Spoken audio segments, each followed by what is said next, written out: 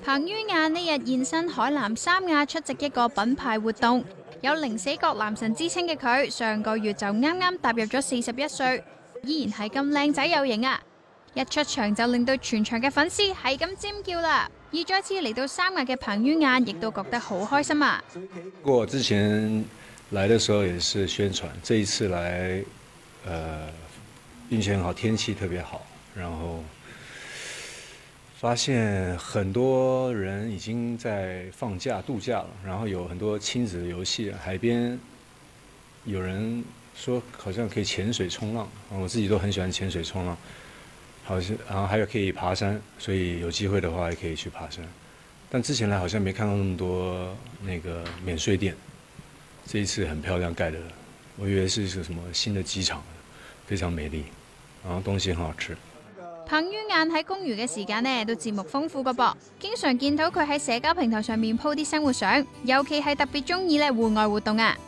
不工作就是玩啦，不工作就是玩，嗯，可以去，现在旅行方便一点，去旅行啊，学一些新的东西啊，嗯，呃，体验生活。现在就是觉得多放松，多体验生活是接下来的目标标。那未来有什么计划吗？可以跟大家分享一下吗？呃，工除了工作以外，就是想学一些新的东西吧。粉丝们都好期待可以见到偶像嘅新作。彭于晏亦都感谢粉丝们呢咁挂住佢，仲隔空对粉丝送上祝福添啊！探索，幸福，健康就好了。对对，享受生活。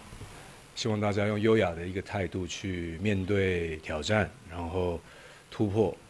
然后探索一些不未知的东西，我觉得这个是应该是呃每个人应该都会有一点想要对于好奇心去发展嘛。做演员也是通过很多角色，就是要不停的探索。